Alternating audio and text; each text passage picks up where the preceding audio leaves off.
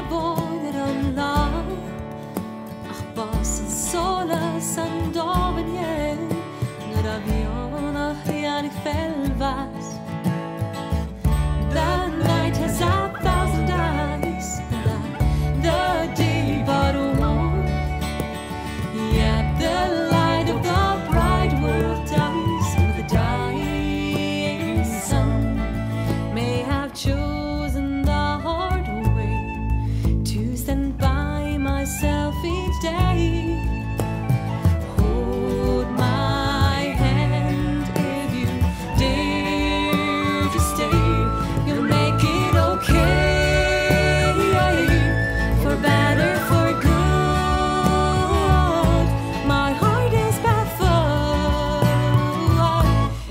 Rockers nach da.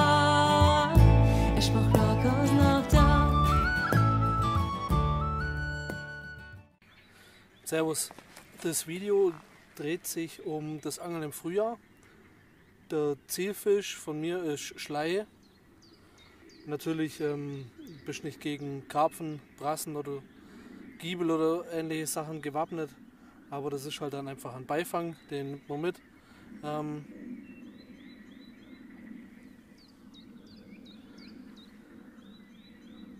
kommt schon wieder irgendein Auto, na egal.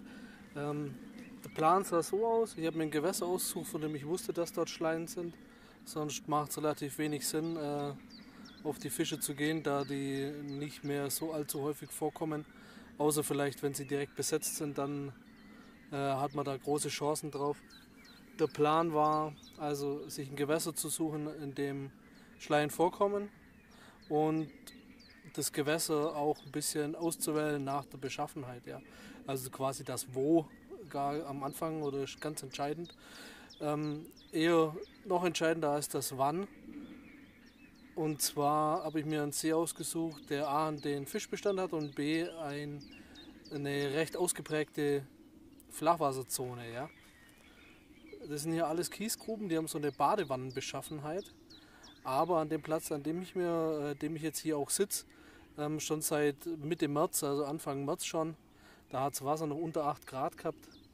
Also da war es schon richtig zapfig noch.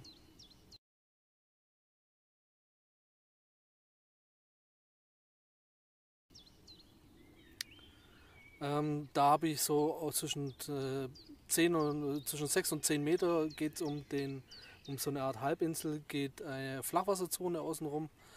Äh, da geht die Kante hoch von über 3 Metern, 2 Meter, 3 Meter, was weiß ich, je nachdem, wo man gerade lotet, auf ungefähr 1,30, 1,50 hoch. Und das war die Stelle, die ich mir quasi ausgeguckt habe. Da habe ich auch ein kleines Echolot-Foto, also vom, ähm, vom Ausloten, ein kleines, ja, eine Zusammenfassung und das äh, sagt schon einiges drüber aus, denke ich. Warum ich gerade jetzt im Frühjahr den Platz gewählt habe. Gründe sind äh, offensichtlich, also oh, abgesehen vom Offensichtlichen, dass ich halt ins Flache gehe, dass ich die Fische im Flachen suche und ähm, es ist quasi so die einzige richtige Stelle, die man hier befischen kann und die man, äh, die flacher ist als der Rest. Also das ist eigentlich deutlich so ein, so ein kleiner Hotspot im See, so eine richtige Markierung, eine richtige Marke.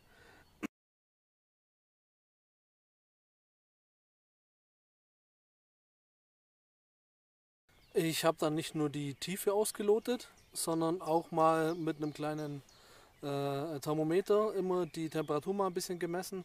Also das Wurfecholot, das ich verwende, den äh, Deeper, den Chirp, der zeigt natürlich einem die Wassertemperatur auch an, allerdings eben an der Wasseroberfläche, was mir jetzt allerdings recht wenig bringt. Ja, und ich habe dann einfach ein bisschen Schnur eine kleine, so einen kleinen billigen Thermometer hingehängt, um einfach mal so ein bisschen zu verfolgen, ja, wie das Wasser sich hier so entwickelt. Ja. Also ich habe angefangen bei 8 Grad, bei 1,50 Meter äh, Tiefe und ähm, oh, da blubbert es ganz schön da draußen. Ja, es ist Abendszeit, es kommen die Brassen, glaube ich, raus. Und ja, ähm, das haben sie mich unterbrochen, Entschuldigung. ähm, ja, ich habe einfach die Wassertemperatur auch noch ein bisschen gemessen, um, um zu gucken, wie sich der Platz hier entwickelt. Also ich habe, wie schon gesagt, bei unter 8 Grad angefangen und die also es ging richtig los ab 10. Ja. Zwischen 10 und 12. Also ab 12 Grad, da hat man schon richtig gemerkt, dass wirklich äh, Aktivitäten da sind, dass die Fische gebissen haben, regelmäßig gebissen haben. Und das war so der wirklich der, der Punkt von der Temperatur, wo es wirklich gute Fänge gab. Ja.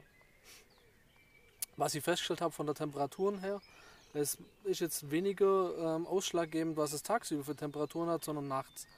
Also wir hatten nachts äh, Anfang März mal zwei, drei Tage, wo es frostfrei war, wo wir richtig schönes, äh, schönes mildes Wetter hatten. Da habe ich am nächsten Tag, also untertags, Nachmittag, Vormittag, hervorragend gefangen. Ja. Und ähm, ein paar Tage später, als die Temperaturen dann wieder unter den Null gegangen sind und wir Ostwind bekamen, da ging dann gar nichts mehr. Also da war dann wieder tote Hose.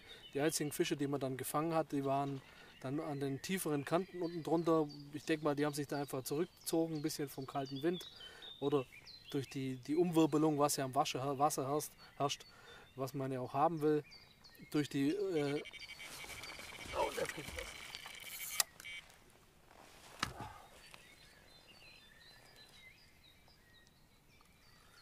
Ah, das könnte ein Schleiß.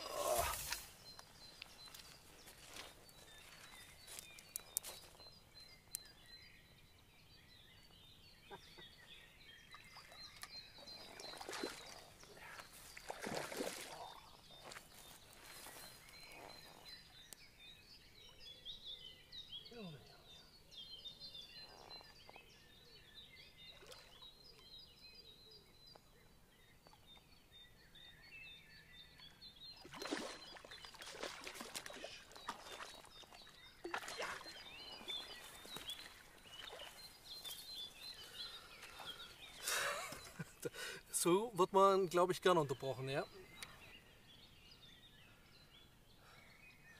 Zierfisch. Ah. So, wo war ich stehen geblieben? Ich glaube bei der Temperatur, ja. Also die Temperatur nachts in Verbindung mit dem Wind aus Osten hat äh, nach der kurzen Periode, wo es gut gebissen hat, eigentlich das Angeln äh, äh, komplett verlagert. Also aus der, aus der Flachwasserzone, in der ich mir quasi so meinen kleinen Platz aufgebaut hatte. Ich habe ganz wenig Futter rein, äh, bisschen, bisschen ähm, Dosenmais, vielleicht ein, zwei Handvoll Boilies auf zwei Plätze verteilt, also so kleine, so 10 mm, 12 mm Boilies und Maden. Mit dem habe ich am Anfang gefischt, ja. Auf jeden Fall, äh, die Nachttemperaturen waren dann wirklich entscheidend und man hat wirklich gemerkt. Also das wäre für mich so der, der Knackpunkt, wo ich das Angeln im Frühjahr festmachen würde. Ähm, A, die Stellenwahl, dass ich einen See habe, ja, wo ich äh, wo ich ziemlich sicher sein kann, ja, dass da eine Flachwasserzone, dass es da eine Flachwasserzone gibt und dass ich die befisch und wenn dann die Temperaturen stimmen, ja, dann lohnt sich wirklich. Also ansonsten friert man sich auf ja, friert man sich der Arsch ab und es beißt halt nichts. Oder eben im Tiefen mit äh, Method Feeder oder mit, äh, mit, mit Lebendköder so ein bisschen, da geht dann da schon was auf Praxen oder sowas. Oder Karpfen und vielleicht auch Schleien und Giebel als Beifang. Aber als es die richtige Zeit für mich, wo es sich rauskristallisiert hat, war, wo ich im Flachwasser gefischt habe, ja, also äh, die, die Nächte nicht mehr unter Null, also deutlich im Plus und dementsprechend dann auch ein milderer Wind, ja. Dann auch nicht mehr, nicht ganz so früh angefangen zum Angeln, sondern das hat dann eher immer so am späteren Vormittag ein bisschen gebissen oder eben dann abends, also nachmittags, jetzt haben wir es auch schon deutlich, äh, Sonne geht langsam unter, jetzt haben wir schon nach 17 Uhr. Es war tagsüber jetzt ein bisschen tot, ja, aber und jetzt geht's los. Das hatte ich eigentlich, das war eben das, was ich im Frühjahr auch immer äh, also als ich noch im März, also jetzt haben wir es äh, Ende April, als man noch im März war, das ist das, was ich da auch feststellen konnte, eben nicht mehr so diese frühen, äh, diese frühen äh, Stunden, ja, sondern eher dann schon tagsüber, wo es dann das Wasser sich leicht erwärmt hat.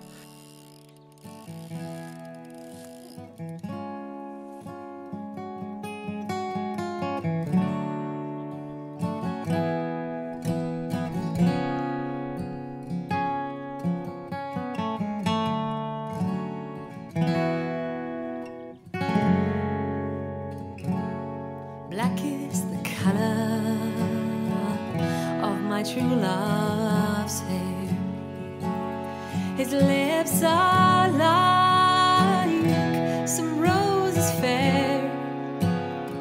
He has the sweetest smile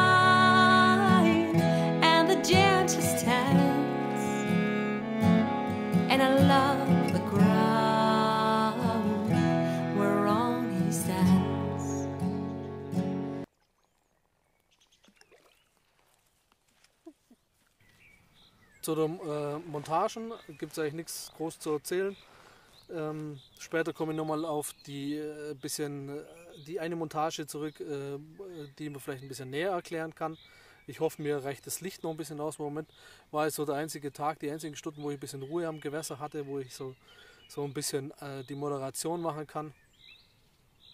Und zwar äh, im Moment fische ich mit Festblei auf Grund, mit kleinen Boilies, habe aber auch mit Pop-Up-Mais und mit Maden, die ich noch ähm, an den Mais noch habe hinmachen können, äh, gefangen. Das ist jetzt nichts Besonderes, also ich fische hier relativ ufernah. Das ist jetzt keine spezielle Montage. Was ich festgestellt habe, dass als ich mit ganz kurzen Vorfächern, also was weiß ich, so 10 bis 15 Zentimetern gefischt habe, habe ich relativ viele Fehlbisse bekommen und auch seitlich gehakt und viele Aussteiger. Also das war nicht so schön, wo ich auch wusste, dass Fische dran waren, also Schleien dran waren. Ja, das merkt man einfach während dem Drill, dieses Bohrende, äh, wie eine, wie eine Hilti ist das, die, wenn man Beton wegspitzt, ja. Äh, und dann habe ich dann das Vorfach auf über 20 cm verlängert. Ein längeres Haar bzw. der Köder endet am, äh, am Ende vom Hakenschenkel, also vom Hakenbogen in dem Fall. Festblei, zwei Gummiüberschübe über der Wirbel und über dem einen hängt Blei, natürlich Richtung Hauptschnur. Vorfach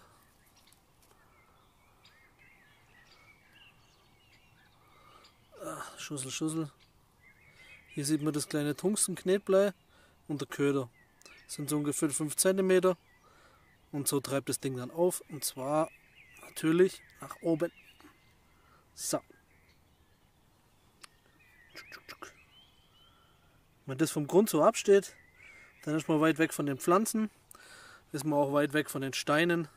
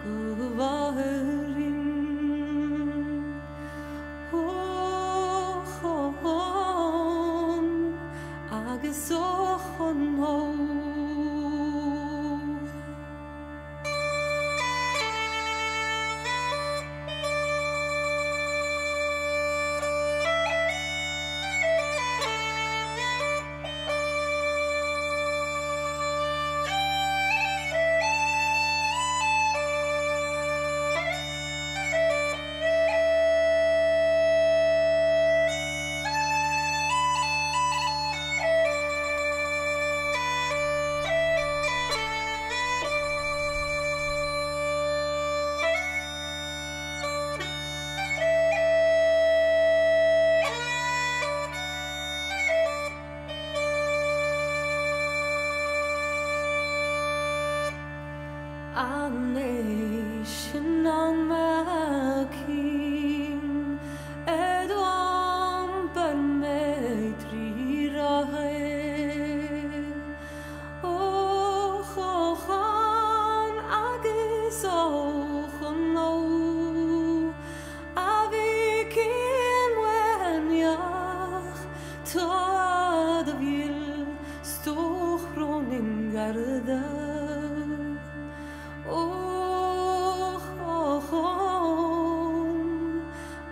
Jesus.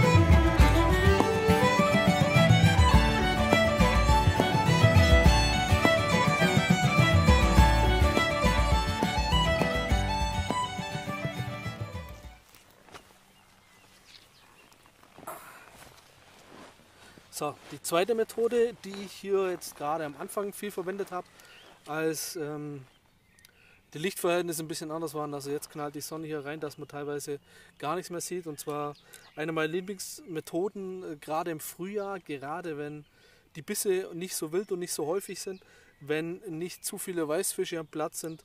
Und zwar ist es die Liftmethode, die Liftmontage mit dem aufgelegten Blei und mit dem aufgelegten Köder am Grund. Ähm, ich habe schon mal in einem anderen Video über die Liftmethode geredet. Warum verwende ich sie? A, weil es eine sehr schöne Angelei ist. Die Bisse sind ganz super, also, also toll. Also wenn jetzt gerade hier ähm, ähm, so ein langer Kiel, ups, so ein langer Kiel sich aus dem Wasser rausliftet, ja, dann ist das einfach ein schöner Anblick. Und ähm, ich glaube, gerade was Posenangeln anbelangt, da kommt dem nichts hinterher. Also es ist klar immer schön, wenn eine Pose abzieht, aber wenn die sich erst aufrichtet, aus dem Wasser rausliftet, sich möglichst nur umlegt vielleicht, also gerade wenn man jetzt mit kurzen Posen fischt, dann legt sie sich wahrscheinlich erst noch um und driftet langsam weg, ja, je nach Köder, dann, wenn man sich ein bisschen Zeit lässt, dann ähm, das ist einfach eine schöne Angelei. Und ähm, der Vorteil der Liftmethode ist, da man die in der Regel an gestrafter Schnur fischt, ist es eine sehr direkte Methode. Also man verangelt eigentlich kaum Fische. Also ich kann mich nicht erinnern, dass ich jemals einen Fisch mit der Liftmethode verangelt hätte, außer ich verpenne den Biss und der Fisch, der dreht wirklich seine Runden durch den See. Was aber ja wirklich nicht Sinn der Sache ist. Auf jeden Fall, Liftmethode hat man vielleicht schon ein bisschen gehört. Letztens war in der Fisch und Fang sogar noch ein Video drin, ähm, wie, man, wie ein Profi-Karpfenangler mit der Liftmethode gefischt hat. Fand ich jetzt nicht ganz von der, äh, von der Ausbebleiung oder von der Austarierung von der Pose nicht ganz so ideal. Aber hey, der hat super gefangen, besser als ich hier. Und deswegen ähm, werde ich da einen Teufel tun und äh, äh, da irgendwas kritisieren. So, was ich allerdings, ah, jetzt kommen die Mücken schon. Was ich allerdings euch mal ein bisschen zeigen will, sind äh, Posen, was man zum äh, Liften fischen kann. Und zwar, theoretisch kann man die Liftmethode mit jeder Pose fischen. Allerdings macht es ja, da, die Bissanzeige geht ja über das Liften der Pose aus dem Wasser hinaus. Ja? Also macht es eigentlich Sinn, wenn ich Posen fische mit einem mit einem langen Kiel, mit, einer, mit einem langen Kiel ja, oder ähm, auffällige Farben, ja, damit ich sehe, dass überhaupt was passiert. Ja. Ähm, ein Schwimmer, der untergeht, ja, da brauche ich nicht besondere Dinge fischen. Ja, die können kurz sein, die können lang sein, das spielt keine Rolle. Äh, die Länge ist dann von der Stabilität her ein bisschen anders bei Wind, ja, komme ich gleich nochmal drauf zurück. So. Und bei der Liftmethode ist es einfach schöner, wenn man ein bisschen, äh, wenn man ein bisschen Hub hat, ja, ganz einfach, wenn man ein bisschen was sieht. So, ich denke, die ersten Posen, die man zum Liften, äh, allgemein Posen, was man überhaupt verwendet hat, ja, das sind die Stachelschweinborsten, ja. In dem Fall ist es eine unbemalte, also ich wollte mal ein bisschen äh, daheim im Winter Posen basteln. Wir hatten keinen Winter, also habe ich daheim keine Posen gebastelt. Ähm, es ist eine, es ist immer noch eine super Pose, ja. Muss, wenn man da einen roten Punkt oben drauf macht, ja, und durch dieses Zebra-Muster, ja, wenn sie die sich rausliftet, dann hat man auch nochmal einen richtig schönen visuellen Reiz, ja, man sieht es einfach gut, ja. Was also noch ein Vorteil von der ist, die hat nicht so arg viel Tragkraft, also lang, bei der lang wahrscheinlich schon anderthalb, zwei Gramm Blei, um die komplett auszubebleien, hat man, kann man das Grundblei also wirklich schön äh, nur mit einer, nur mit einem Blei fischen, ja. Das ist eine, eine tolle, ähm, unauffällige Montage, die Pose macht man fest oder man macht so einen kleinen Adapter noch hin oder je nachdem, wie man die halt an der, an der Schnur sich festmachen möchte. Ja. Und das Ankerschrot, das einzige liegt dann quasi auf dem Grund. Also das ist das ursprünglichste, denke ich, ja, was man machen kann. So. Also so Stachelschwein-Borsten, ja, also Posen bekommt man kaum noch welche, außer im ausgesuchten Handel, ja. Äh, aber bei Ebay oder äh, ja, Amazon, Ebay oder was weiß ich, bekommt man die rohen Borsten. Also das ist alles kein Problem. Was jetzt auch schöne Posen sind. Ja, das sind die hier. Das sind, die sind aus Ried, also Sakanda. Äh, Sakanda ist ein Gras, ja, ein Süßgras. Das kommt aus Indien, Pakistan. Und das sind jetzt Posen, die sind von dem polnischen Hersteller. Äh, Jackson, Jackson, also mit X in der Mitte oder Shark, je nachdem. Ähm, das ist der gleiche Hersteller unter anderem Namen. Habe ich in Deutschland mal ein paar gesehen, die sind super verarbeitet, aber dann hat der Händler leider nicht mehr hergetan. Und deswegen habe ich einfach dann im Internet nach denen geschaut und ich habe es auch bei Facebook angeschrieben. Die haben mir geantwortet, ich soll dann unter Jackson schauen. Da werden sie auch verkauft, da sind sie gängiger. Alles klar, habe ich gemacht.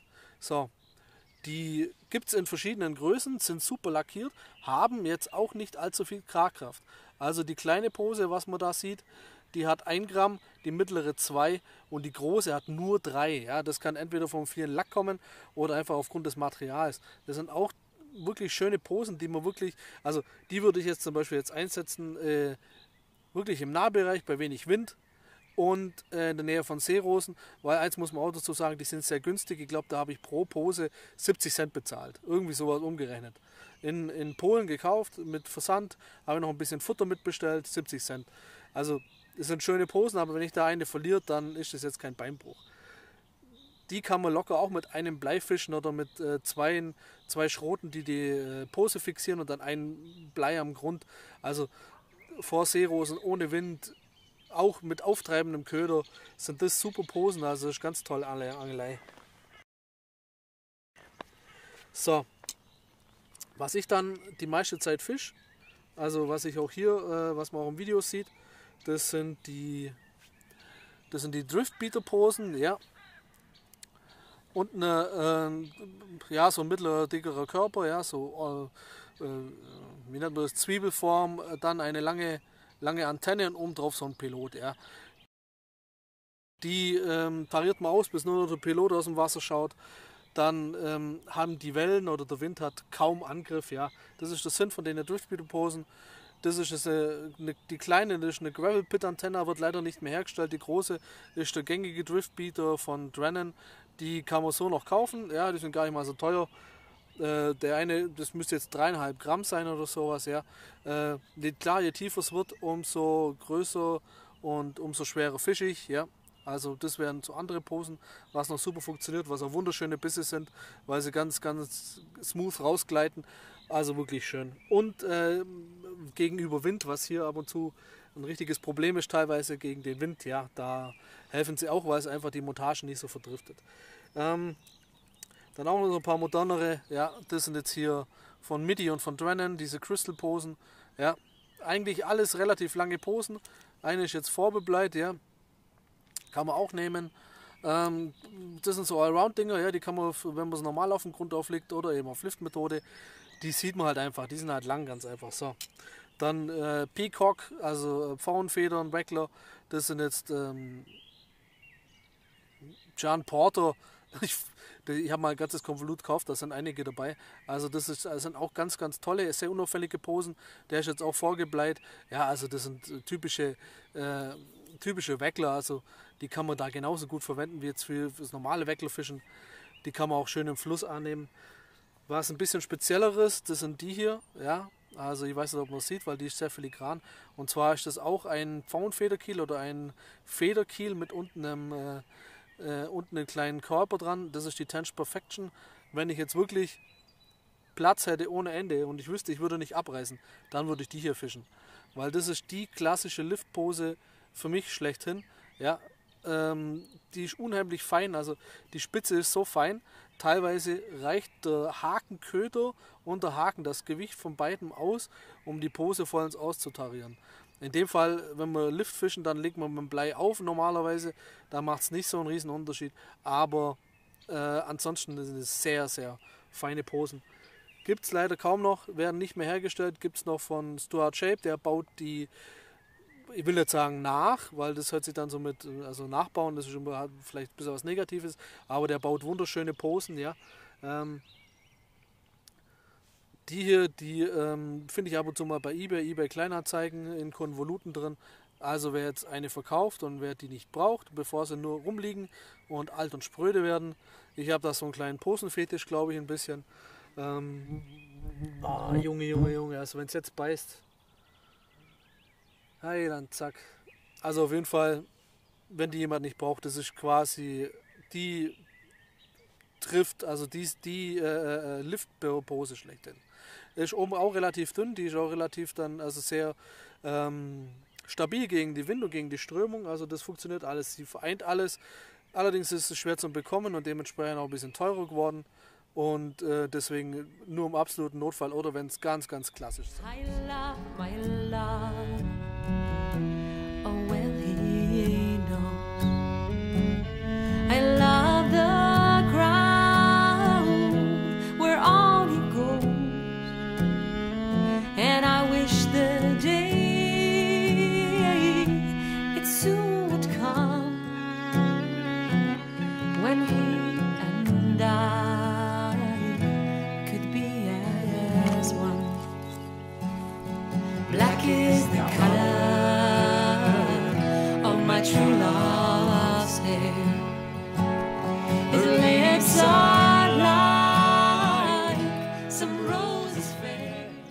Natürlich jetzt Transportmontage.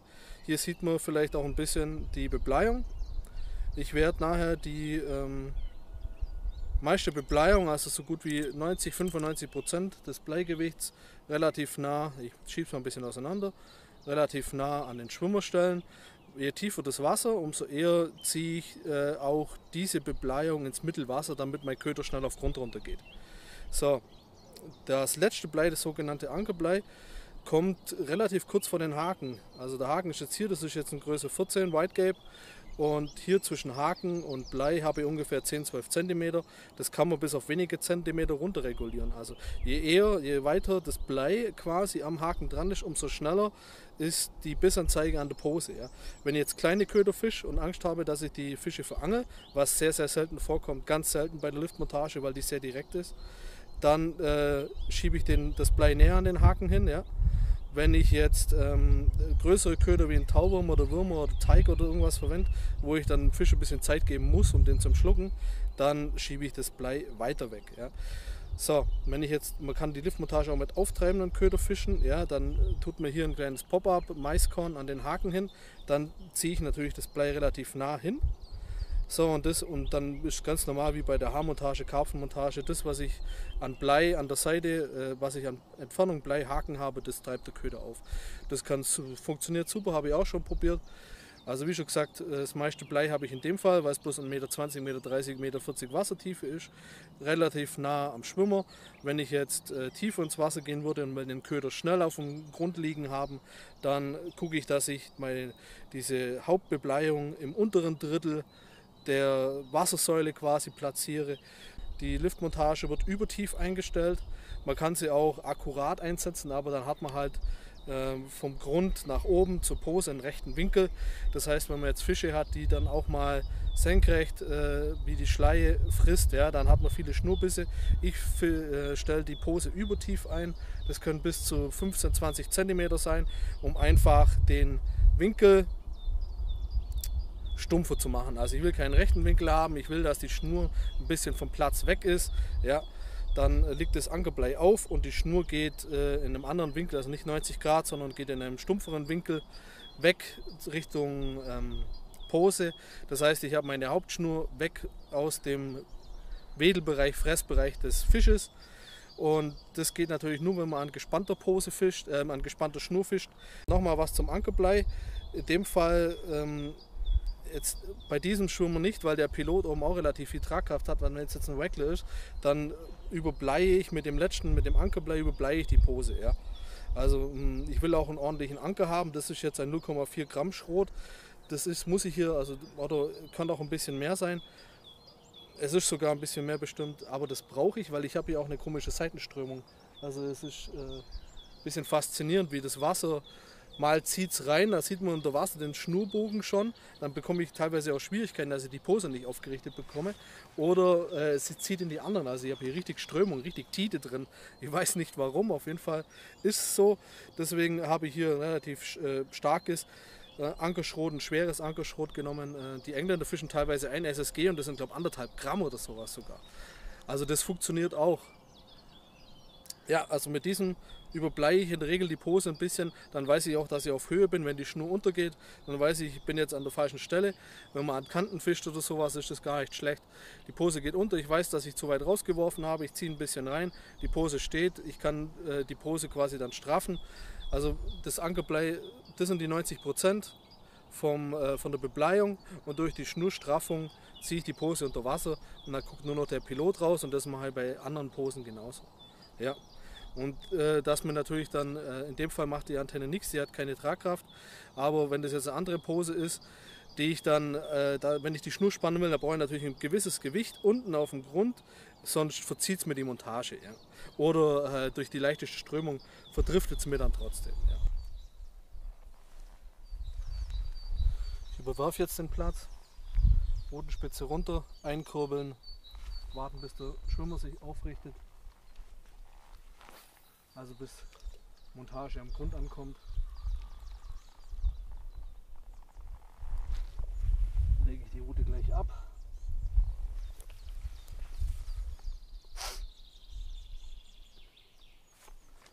Und dann wird die Schnur nur noch gespannt, bis die Antenne untergeht und nur noch der Pilot rausguckt.